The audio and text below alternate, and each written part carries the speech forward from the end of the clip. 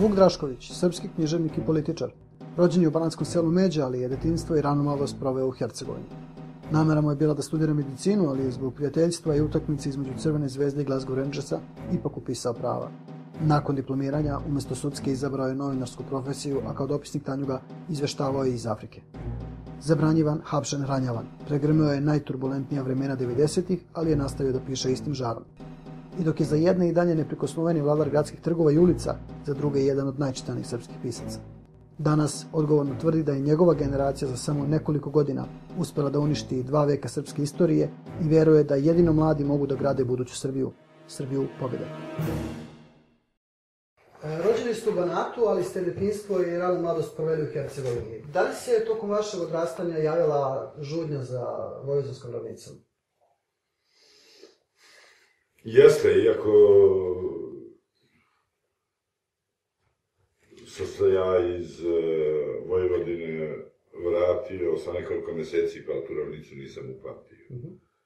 Ali sam uh, slušao o toj ravnici u tom hercegovačkom selu, bez struje, bez puta, siromašnom selu i sa tugom uh, sanjao Vojvodinu i zamerao mojima što su se uopšte vraćali u Hercegovinu. E, nakon završene srednje škole planirali ste da upišete medicinski fakultet. Da li je tačno zapravo da je utakmica između Crvene zvezde i Glasgow Rangersa koja se odigrala tog septembra 1964. godine odredila negde vaš, vaše buduće akademsko zvanje i, i vašu buduću profesiju? Jeste, jer e, sam pred pravnim fakultetom, a želeo sam da upišem, a pošao sam bio da... Znači, namera je postojala da... Da upišem medicinu. Medicinu, da, da. A potajno sam žalio što ne mogu da upišem i filozofiju i književnost. I tako pred pravnim fakultetom sretnem jednog mog vršnjaka, vacenog zvezdaša, koji mi ponudi kartu više, ima je kartu više za utakmicu Zvezda Glasgow Rangers, i sad vremena pre mene upisao je pravo. Izvršio je na mene pritisak da i ja upišem prava, šta će mi medicina, pa da idemo zajedno na utakmicu, što sam ja kao vaceni zvezdaš prilično lako Na kraju ste otišli na utakmicu, jeste, naravno? Naravno, otišao sam. Upisao prava i otišao da gledam zvezdu. zvezdu. A, diplomirali ste na pravnom fakultetu u Beogradu, kao što ste rekli, ali ste umjesto sudske profesije odabrali rad u novinskoj agenciji Tanjug. Nakon toga neko vreme ste čak bili dopisnik Tanjuga iz Afrike. Da li vas je upravo taj poziv opredelio da počnete sa, sa pisanjem ili se, mada smo iz vašeg prethodnog ovaj, odgovora čuli da se možda ta ljubav prema književnosti i pisanju javila u ranoj mladosti? Pa jeste, pisao sam ja i kao student nešto za list student. Uh, pa pisao sam i pesme, do duše svaki mladić, uh, skoro svaki piše pesme. Dobro, da svi smo prošli kroz to padu, da. Važite za neprikosnovnog vladara trgova ulica, bar vas tako neki smatraju. A, drugi vas pak smatraju za jednog od najčitanijih srpskih pisaca.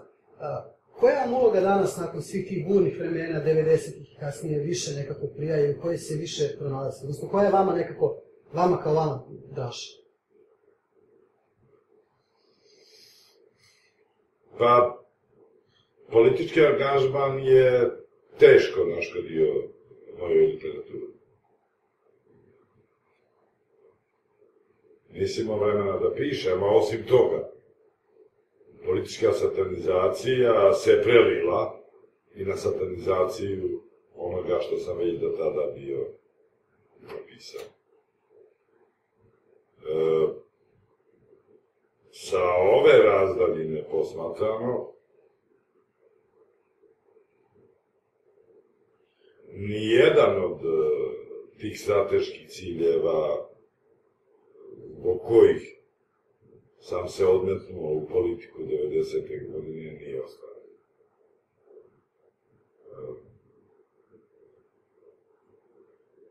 Zemlja je jedna velika država, divna država, zvala se Jugoslavija, vi je možda i ne pamtite, je ubijena u krvi. u tim ratovima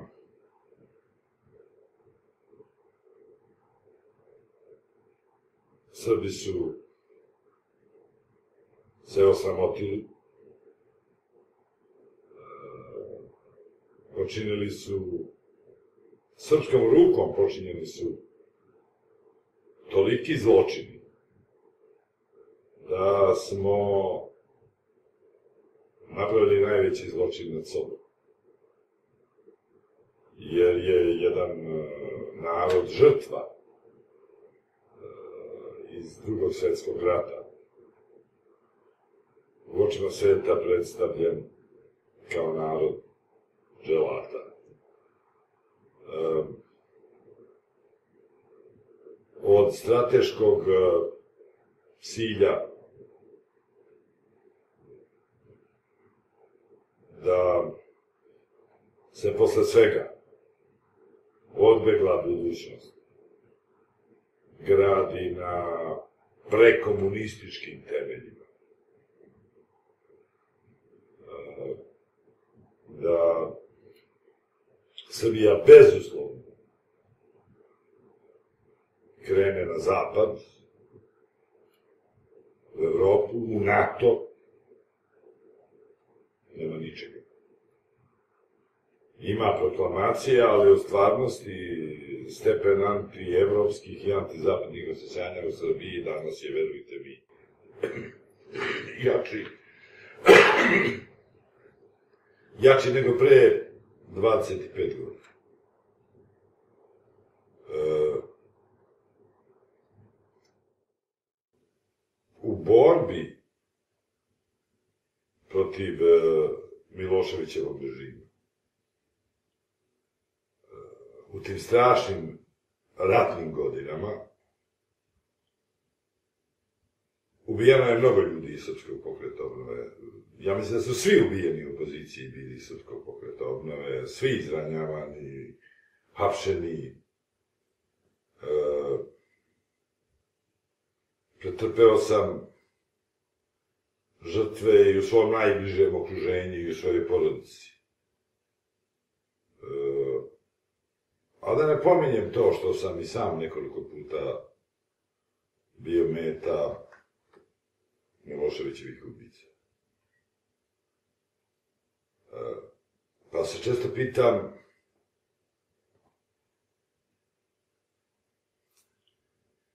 je, je li to sve bilo uzalo? S obzirom da od tog cilja e, smo kojem smo teže i udaljeniji nego, nego onda kada smo se borili i kada smo stradali. E, rekli ste da od tog strateškog cilja nema ništa, preživjeli ste to što ste preživjeli, vremena su bila tako kakva su bila, ali ja moram da vas pitam, da li nakon evo skoro 35 godina, Da li se i dan danas pitate zašto su justici i bogini pravde zavezane oči? Pa nema preciznog, odnosno pouzdanog odgovora na to pitanje. E, među pravnicima e, se vode rasprave. Jedni kažu da justicija mora biti slepa da bi bolje videla. Odnosno da ne videći nikoga, ona vidi i čuje samo činjenice i ne sudi prema tome je li nekome na glavi carska kruna ili je u prosječkim litem. Drugi pa kažu da je država, svaka država slepa za pravdu. Pa onda i boginja pravde nema pravo na očinji vid. Ja sam skloni ovom prvom, ovom prvom tumačenju. Kažete da svoje romane pišete tako da rečima bude jako tesno, a mislima i svakojakim tumačenjima prilično široko. Da li je upravo ta širina, da tako kažemo, glavni krivac zbog čega pojedini vaši čitalaci tvrde da u nekim vašim pojedinim delima postoje ti proročki momenti koji su se kasnije, kasnije obistinili? Ja mislim da nema proroka posle Hrista. A, istovremeno mislim da ne može neko da se naziva prorokom ako ima sposobnost da analizirajući ono što mu se događa pred očima i znajući za ono što se već desilo u prošlosti, e, pokušava da zaviri u budućnost.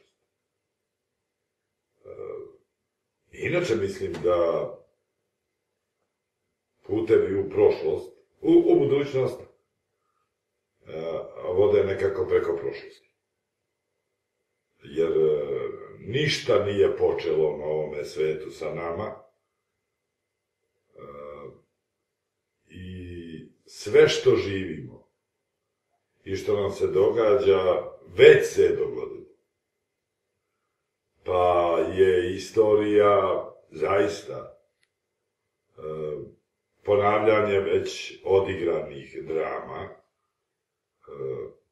nekada su te drame farsa, nekada su komedije. Nekada su tragedije. E, mi imamo neku kop da se istorija ponavlja kao tragedija. Bolje bi bilo da se ponavlja kao farsa.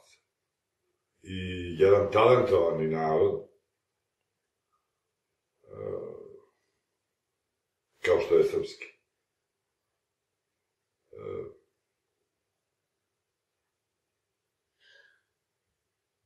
Ja sam možda upoznao bolje kao političar nego kao pisac.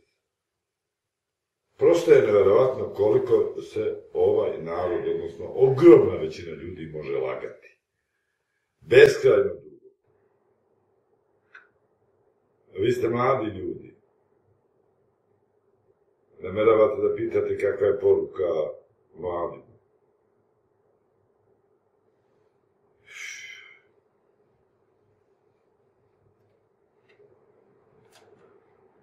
Budite hrabri jer to ide uz mladost. I delajte onako kakvi ste, a pametni ste. Obrazovani. Vi nemate nikakve komplekse. Vi nemate nikakvu krivicu za nesreću koja nas je zadesila. Vi ste nevini. Vi ste u poziciji da budete sudije. Moj nadaštaj, moje pokoljenje, je najprepletije i najnesrećnije u novijoj srpskoj istoriji. Mi smo za nekoliko godina, svi skupa, uspeli da srušimo dva veka istorije i da sve ono što je bilo nekada pobeda e, pretvorimo u strašni poraz. E, vi morate da gradite, ne može ovo pokoljenje da gradi Srbiju, Srbiju pobeda. Vi je gradite. A da biste je gradili, onda morate da prihvatite ono što su prihvatili Nemci i Japanci posle još strašnijeg poraza koje su doživeli uh, koje su doživeli u drugom svetskom ratu. Uh, oni kažu da uh, se poraz preobrće u pobedu na ovim osnovama i samo na ovim. Prvo, da se poraz prizna, da se zločini prizna da se ničim ne usporavaju, niti pravdaju ni poraz, ni zločin. Drugo, da se nova politika u svemu oslobodi od svake primese prethodne politike poraza. I treća stavka je da se neprijateljstva koja je stekla politika poraza pretvaraju u, u prijateljstvo. Kao što vidite, za posljednjih 15 godina od Miloševićevog pada, ništa od ovoga se nije desilo. Srbija istrajno je zavetovana politici poraza i istrajno je zagledana u svoje zločine kao patriotizam. Niste tamo daleko, ovaj, pominje se lik po imenu Vidan i parcela njegovog dede Aroma koja je pocepan. Da li zaista verujete, da li postoji mogućnost da upravo Vidan, kako slikovito da kažem, da uspe da, da objedini ovaj, tu pocepanu parcelu svog dede Avrama, da je, da je nekako zaokruži ponovo jednu celinu? Ako pođemo od e, teze da je istorija ponavljanje već dogođena, onoga što se već jednom dogodilo, onda je razložno pretpostaviti da i sjedinjavanje nečeg što je razbijeno će se takođe desiti.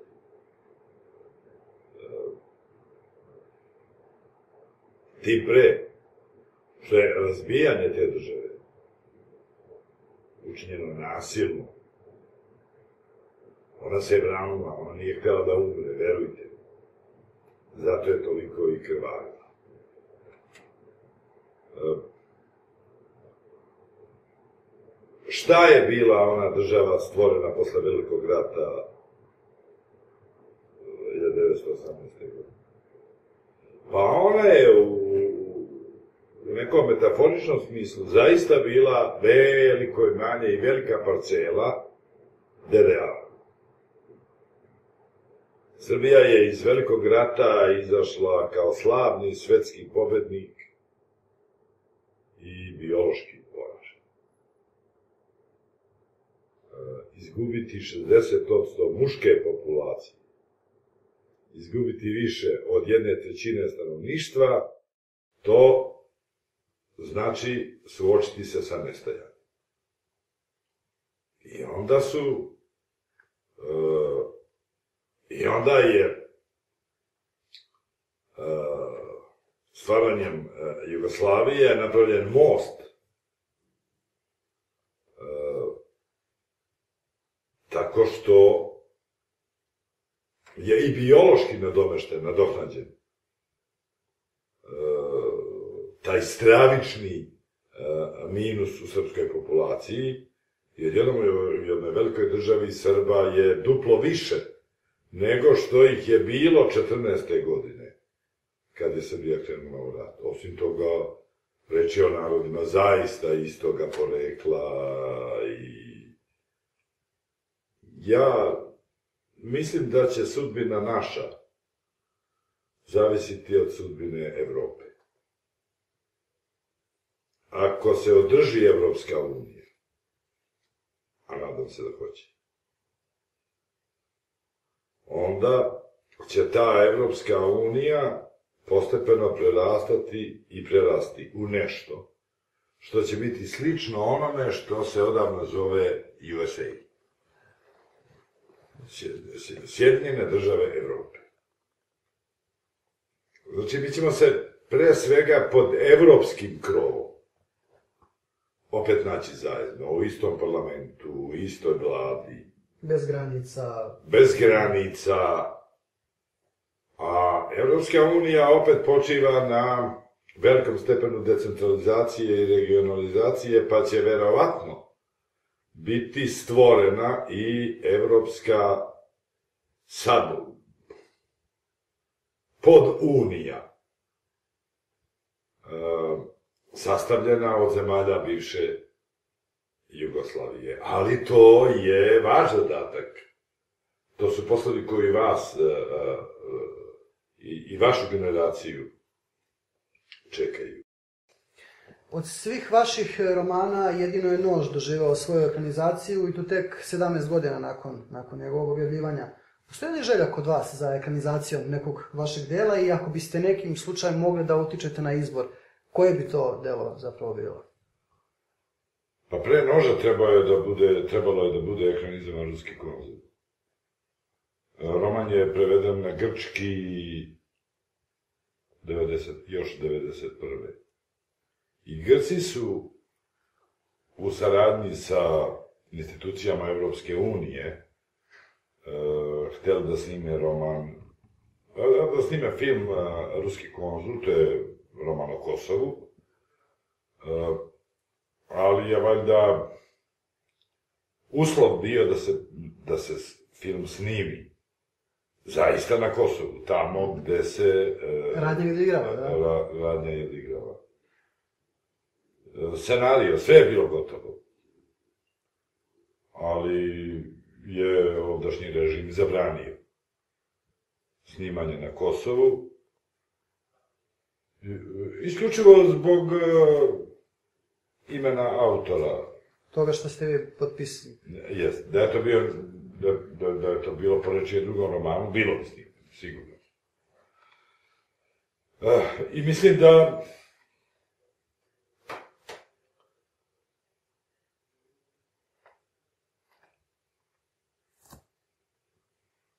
da bi to bio dobar film. To mi je rekao i Nikita Mihalkov, koji je ruskog konzula pročitao na ruskom, jer roman je preveden na ruski. I imali smo dug razgovor u Moskvi 2005. godine. I pokazalo se da je on više otkačan od mene. E, kazao je, kada bih ja snimao ruskog konzula, e, ja bih otišao dalje od toga što ste vi pisali. Od, od, od, od romana. Jer u romanu uh, glavni junak uh, 73. godine umišlja da se u njega uselio duh ruskog uh, Ivana Stjepanovića Jastrebova, ruskog konzula iz vremena carske Rusije, bio je konzul na Kosovu. I on jednostavno umišlja da je on konzul carske Rusije na Kosovu 1973. godine i onda piše pisma, piše pisma ruskom caru, piše pisma Dostojevskom, piše pisma još mnoga. E sad, Mihalkov kaže, to je sjajno, ali ja bih išao korak dalje. E, njemu bi Dostojevski u filmu koji bih ja snimio ne samo odgovorio, nego bi i došao na Kosovo. 1973. E, ali nema, nema, ne, ne. Nije se nekam dojavila neka, neka mogućnost. Pa kako, ne može bez para. Da, to ste pravo. To ste pravo. A, a, možda nisu ni pare glavni problem. Ne bi to bio skup. Film.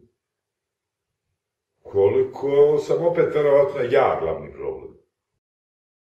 Ali eto recimo, kao autor. Da. A recimo i ovaj ruski konzul je jedan od, od tih romana, ovaj, vraćamo se malo na naš rani razgovor, ovaj, koji imate neke, da tako kažem, ovaj, opet nismo se složili da su to proročke, ali možda dobro analizirani momenti, gde su upravo ta priča vezano za, za muslimani i pozivanje na borbu, džihad i tako dalje, ovaj, negde možda sad i, i obistinjavaju vezano za, ako pogledamo sada ovu islamsku državu i, i tako dalje, ako gledamo u širem pa konceptu. Pa, jeste, jer, jer, jer, pazite, vi možete da gledate i na islam. Uh, iz raznih uglova. Jedan je ugao nepoznavanje islama, drugi ugao je naopako poznavanje islama. Ja, moj roman uh, Via Romana je nedavno objavljen na Turskom. Uh, I tamo opet uh, se iz jednog posebnog ugla gleda na tu islamsku tradiciju.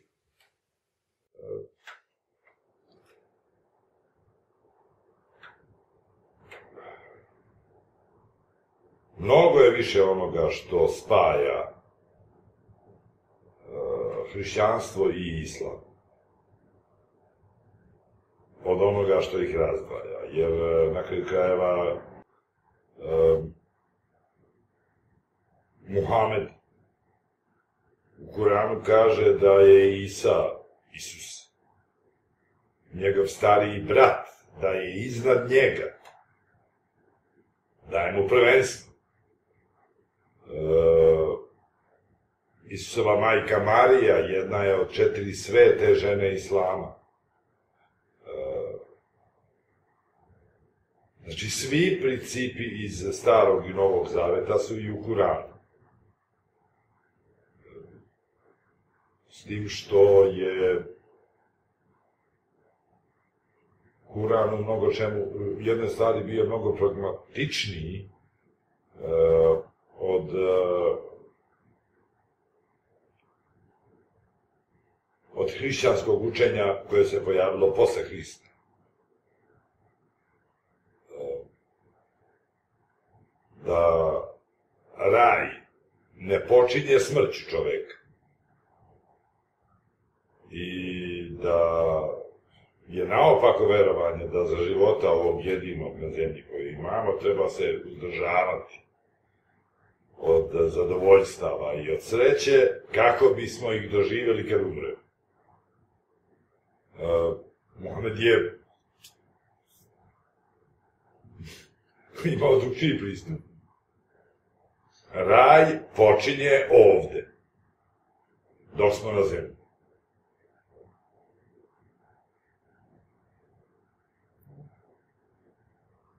Eto, ja ne na kraju ostaje samo da, da vam se u ime organizacije, u ime naše rubrike na Kafisa zahvalim na, na vašem gostovanju, na vremenu koje ste posvetili nama da porazgovaramo o ovim pitanjima. Nadam se da je vama bilo prijatno. Jedino što bih evo iskoristio, čuli smo tu poruku mladine, sve iskoristio bih za kraj, ako možete nam kažete u jednoj rečenici vaša nova knjiga koja izlazi. Ovaj, šta će biti neki light motiv knjige ili da li postoji neka... Znam da ste rekli da pouke, prosto vi ne, ne govorite, nego uh, dopuštate čitaocu da on sam izvuče neku pouku, ali da li u jednoj rečenici ovaj, neko možemo da čujemo šta će to biti u novoj knjizi i da, da time ovaj, i završimo ovaj intervju. Roman